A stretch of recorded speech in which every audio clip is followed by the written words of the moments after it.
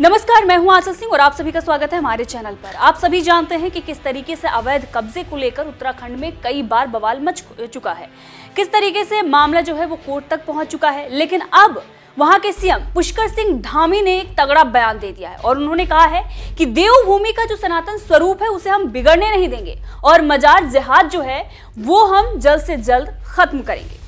अब जिस तरीके से पुष्कर सिंह धामी ने बयान दिया है, ये चर्चा का विषय बन गया है। लेकिन सबसे बड़ी बात यह है कि उत्तराखंड में आखिर ऐसा हो क्यों रहा है? किस तरीके से वहाँ पर आबादी में जो बदलाव आ रहा है, उसके बाद चर्चा का विषय वहाँ पर बन रही मजारे भी बन गई हैं।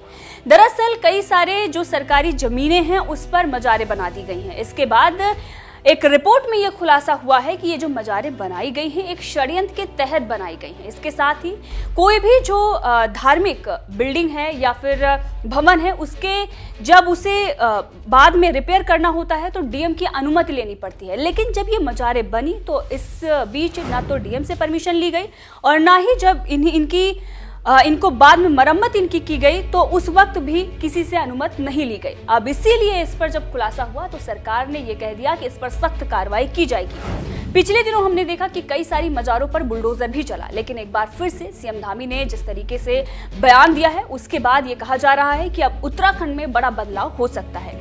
और जो खबरें आ रही थी कि वहाँ पर किस तरीके से एक षड्यंत्र के तहत आबादी बढ़ाई जा रही है खास समुदाय की और डेमोग्राफी में जो चेंज किया जा रहा है, अब उस पर भी सख्त कार्रवाई सरकार कर सकती है। अब इसमें एक खुलासा भी हुआ है, जिसकी चर्चा हम आगे करेंगे, लेकिन सबसे पहले आपको बताते हैं सीएम धामी का वो बयान जिसकी चर्चा चारों तरफ़ हो रही है। पुष्कर सिंह धामी ने आरएसएस के मुखपत्र से बात करते हुए बयान दिया और उन्होंने कहा कि सरकार ये जाँच कर रही है कि किस अधिकारी के कार्यकाल में वन्य भूमि में आरक्षित जंगल के अंदर जाकर मजारे बनाई गई।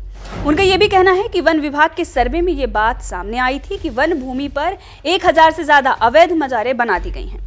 सीएम का यह भी कहना है कि ये कोई पीर बाबाओं की मजारे नहीं है, बल्कि मजार जिहाद का एक हिस्सा है। और असामाजिक तत्व यहाँ पर बस जाते हैं। यहाँ पर हैरानी वाली बात यह है कि जिस रिज़र्व फॉरेस्ट में मानव प्रवेश पर पाबंदी है, वहाँ पर मजारे बना दी गई। और वन विभाग को इसकी खबर तक नहीं तो आपने देखा कि किस तरीके से जहाँ पर इंसान भी नहीं जा सकते बिना अनुमति के, वहाँ पर मजारे बना दी गई और वन विभाग को इसकी खबर भी नहीं मिली। अब इसी पर सीएम धामी ने कहा कि ये जाँच का विषय है और हम जाँच करेंगे और जो भी अधिकारी इसमें लिप्त पाए जाएँगे, उन पर कार्रवाई की जाएगी। इसके साथ ही सीएम धामी ने आगे भी बयान दिया और उन्होंने कहा कि सरकारी ज़मीन और अवैध कब्जों से मुक्त कराने के निर्देश दिए गए हैं। पिछले दिनों चलाए गए अभियान के तहत 100 से ज़्यादा मजारे वन विभाग ने ध्वस्त कर दी हैं, जबकि अन्य मजारों के ध्वस्तीकरण की कार्यवाही भी जल्द होगी। सड़क के किनारे लोक निर्माण विभाग और राजस्व विभाग की जमीनों पर बने मजारों को हटाने के लिए भी सरकार द्वारा कार्रवाई की जा रही है। वही सीएम धामी ने आगे बयान देते हुए कहा की सरकार ने विकास नगर, परगना क्षेत्र में करीब नौ किलोमीटर क्षेत्र ऐसी अवैध कब्जे हटवाए हैं। यहाँ अतिक्रमण आरोप बुलडोजर चलवाकर सरकारी जमीनों को खाली करवाया गया है। सरकार का ये अभियान तब तक जारी रहेगा जब तक सरकारी जमीनों को अवैध कब्जों से पूरी तरह से खाली नहीं करा लिया जाता। मजार जहाद को रोकने के लिए सरकार किसी भी तरह का राजनीतिक दबाव सहन नहीं करेगी। इसके साथ ही उन्होंने सख्त लहजे में चेतावनी भी दी कि उत्तराखंड देवभूमि है, कोई सराय नहीं, कि जो चाहे यहाँ आए और आकर सरकारी ज़मीन पर अवैध कब्जा कर बस जाए।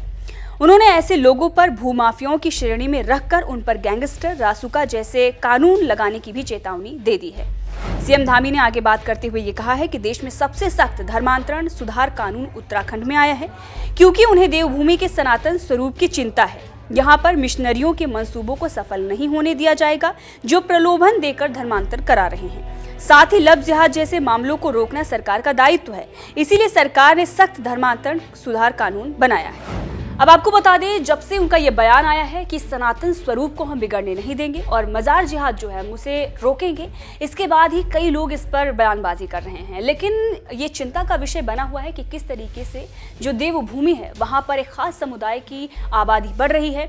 इसकी मुख्य जो वजह है, वो ये बताया जा रहा है कि वहाँ पर जो निर्माण कार्य चल रहा है, उसके चलते बाकी राज्यों से खास समुदाय के लोगों को वहाँ पर लेबर के लिए बुलाया गया है और उन्हें वहाँ पर सरकारी जमीनों पर बसा दिया गया है। इसीलिए लिए आबादी में चेंजेस आ गए हैं।